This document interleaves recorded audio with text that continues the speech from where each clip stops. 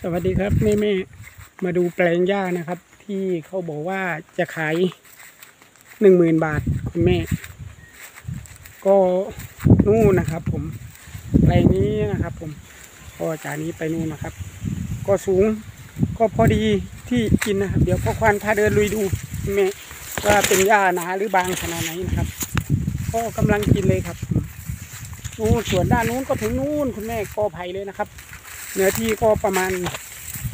เกือบจะสองไร่คุณแม่เกือบจะสองไร่เลยนะครับผมอันนี้เป็นของญาตินะครับ ตรงตรงนี้ก็เตี้ยๆหน่อยนะครับ เพราะว่าเป็นหญ้าหน้าแล้งก็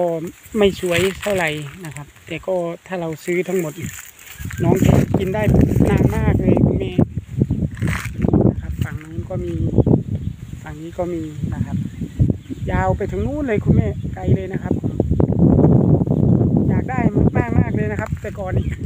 คุณแม่นี่ ที่บอกว่าจะขายหนึ่งหมื่นบาทนะครับนี่อยากได้มากๆเลย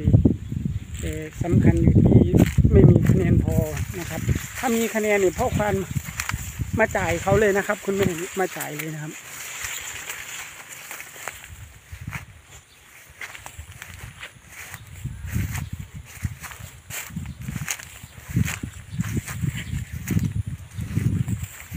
นี่ อันนี้ครับนี่นครับคุณแม่โอ้นะครับดูถึงไปถึงนู้นเลยนะครับผมขอบคุณครับ